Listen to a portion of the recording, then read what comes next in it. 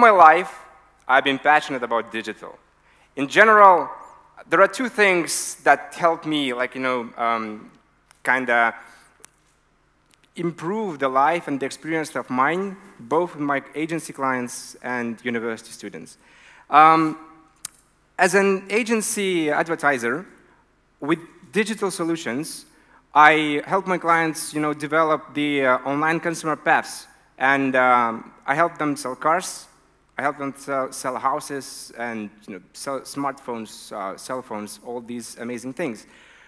As a lecturer, I benefit from digital solutions because, because basically it allows me to relax while at the same time delivering quality content to my students. For example, one of the benefits, or the key benefits that I have found in recent probably five years, is the fact that I do not really have to you know, double check or grade the written, handwritten exams because everything currently is already online. This, you know, eliminates the human factor because I have no issues uh, of identifying, you know, whether there was a misspell or a mistake somewhere in the, in the text. The, the student already is like quite sure that um, his name was also properly spelled because he did not misspell it because you know everything is online.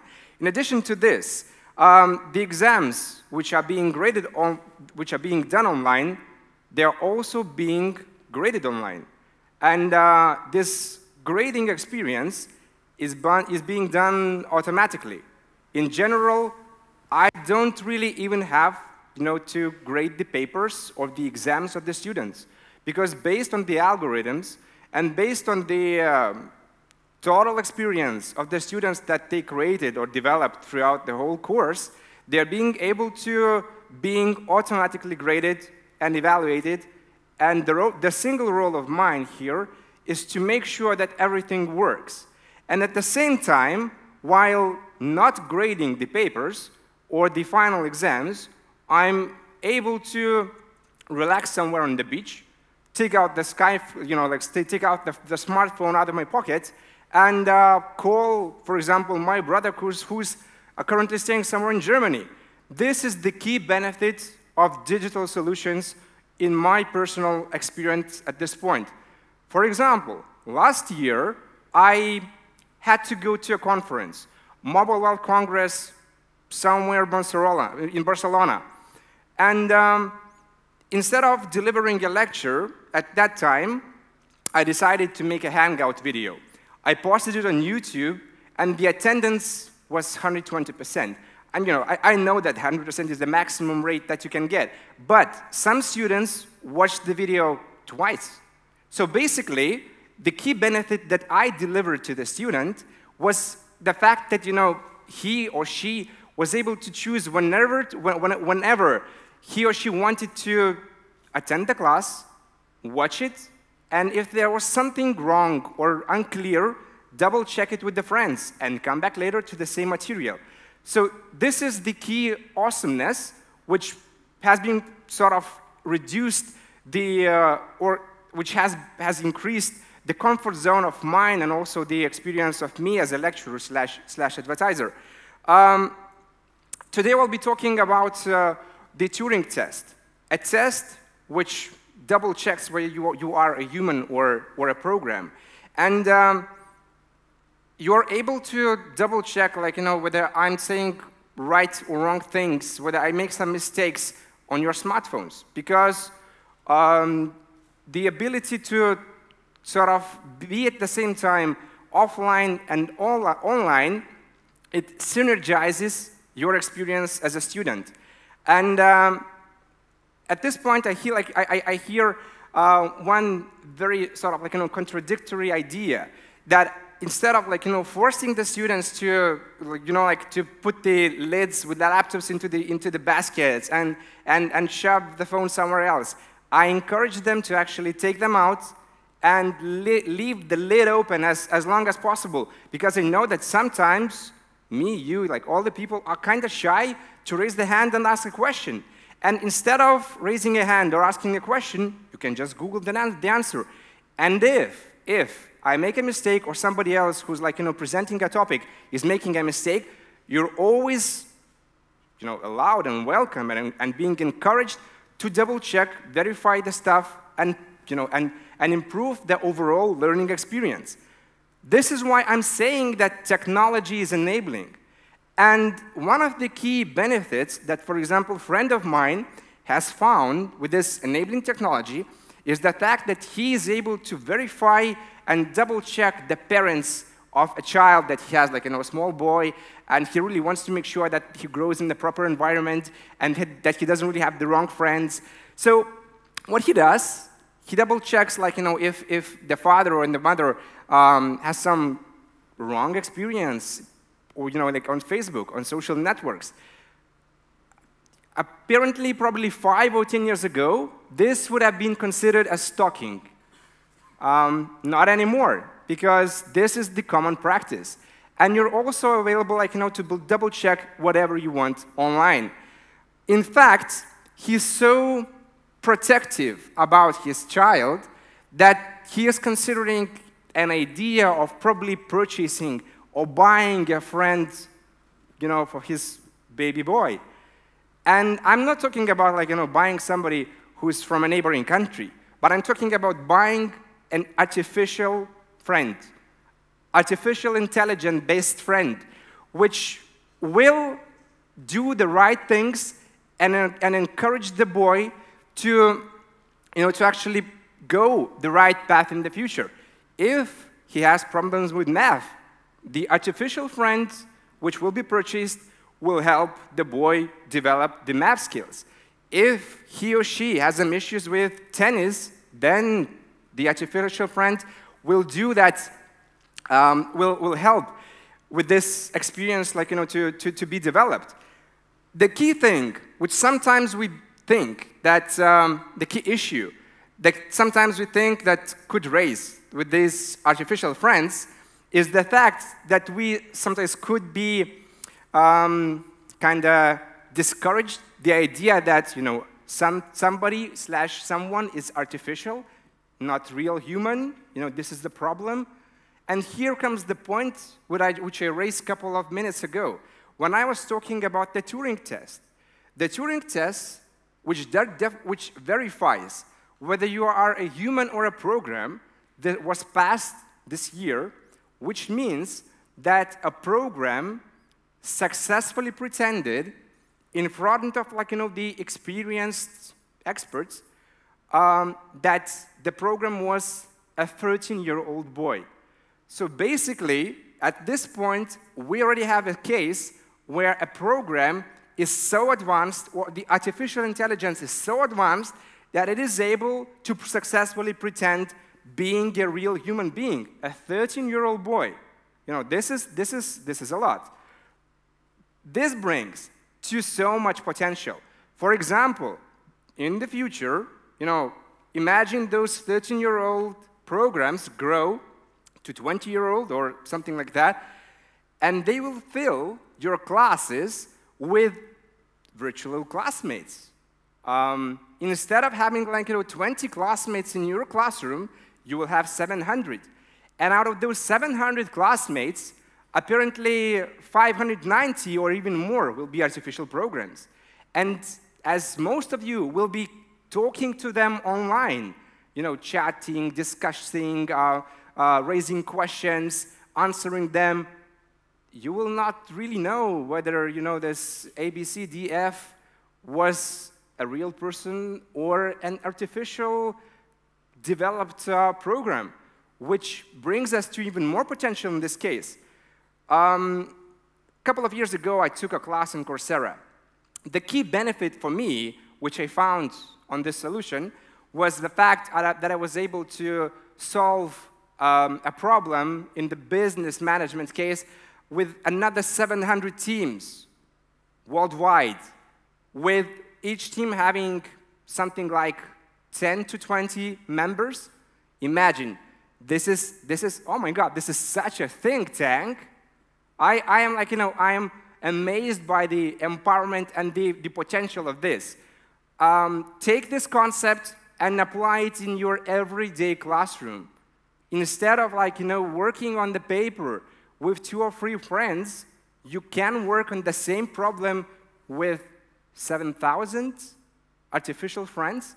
And for me as a lecturer, it's not a problem because anyway, I'm not really grading the papers anymore. The papers are being graded themselves and the exams as well. So whether there are like, you know, 70 or 700 students in the classroom, it's totally the same. Um, and the key benefit is that if I do my job wrong and I fail, there's always a better me, a better artificial me who can substitute me in front of you. I mean, ain't this awesome? Kind of scary, right? to be honest. But at this point, we also come to the, um, to the, to the, to the problem which could raise, you know, from this potential which is coming up in front of us, uh, the problem of digitophobia, because there will be people who will be sort of terrified with this idea. They will feel like this, you know, they, they are being, you know, their jobs are being taken away or something like that. But, you know, don't mind those people. Uh, embrace, embrace the potential of the artificial classmates. Embrace the potential of artificial friends.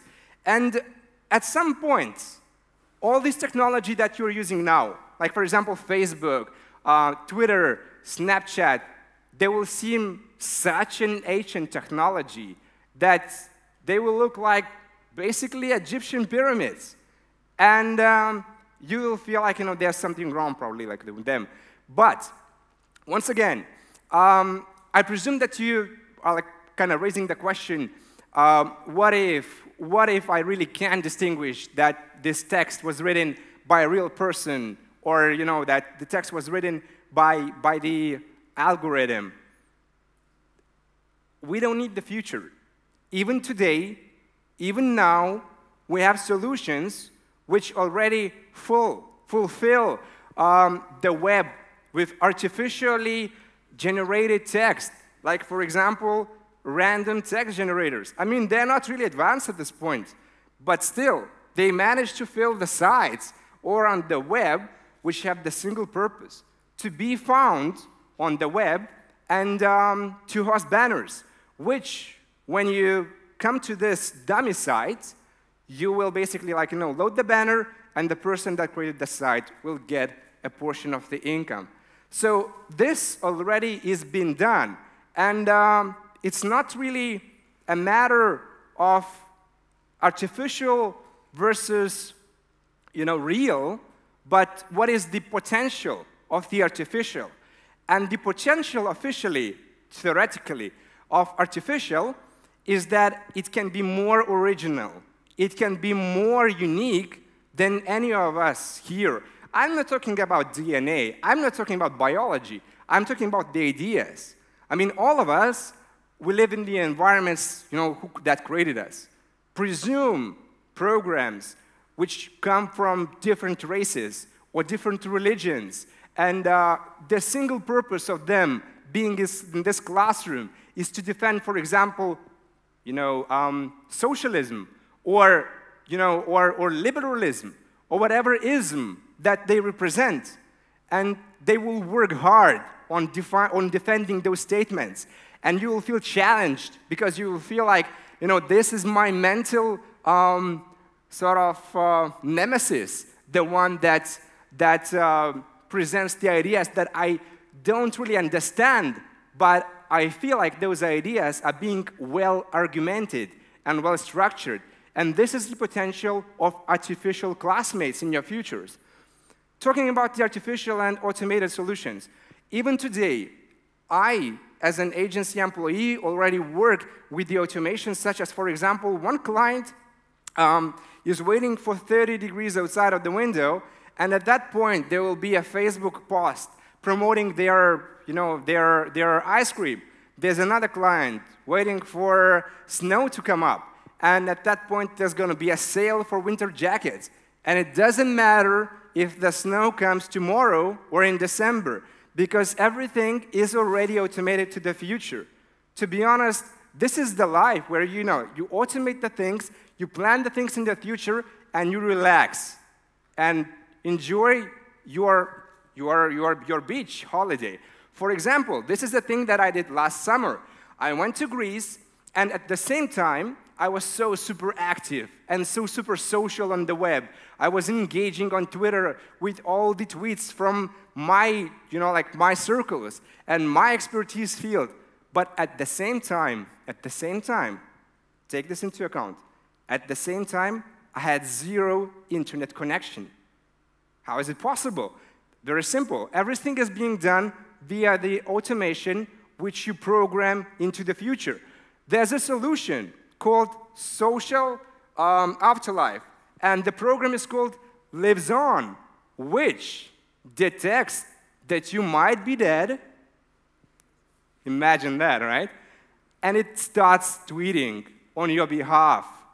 So the creepiness of this awesomeness is that imagine yourself dead, and at the same time, none of your friends know that because you're still socially active. Oh my God, right? This is so awesome. Um, imagine a life where instead of having to attend classes, you will be able to do whatever you want. For example, snowboarding. I mean, I would love to do that. Instead of work, snowboard. But there's a problem raising from this thing. And the problem is the social connection which we develop with the people that, that we you know, solve the problems with or interact with. And this problem comes here. Um, imagine that all the, all the four years that you usually would have probably you know, failed the exams, studied a lot, developed new skills uh, with your friends. You just snowboard. And there's a program which is, which is doing that instead of you, replacing you in all these activities. So what happens next? Um, when Johnny is having a birthday party, he's inviting you know, Agent 3750, which has been attending the classes all the time, has failed the exams together with him, and, you know, and, and, and who developed this social connection, even though he's not really like you know, a human. But you're being out, you know, you're being kicked out of your social environment because of the potential which you embrace and decide to choose. So at this point, I raise you, um, I encourage you to make two choices. Choice number one is when you will be embraced and when you feel like, you know, you will feel the potential of the artificial solutions being your classrooms and your, you know, like your, your environments, don't be afraid. Do not be digitophobic because there's a lot more potential there than there's, you know, like, you know, fear or something else. But at the same time, before that happens, or even when this happens, um, try and keep on building the social connections that you have with your friends currently and the people that you work with now. Because if you do not do that, in that case, the artificial you will basically, well, replace you. That's it. Thank you.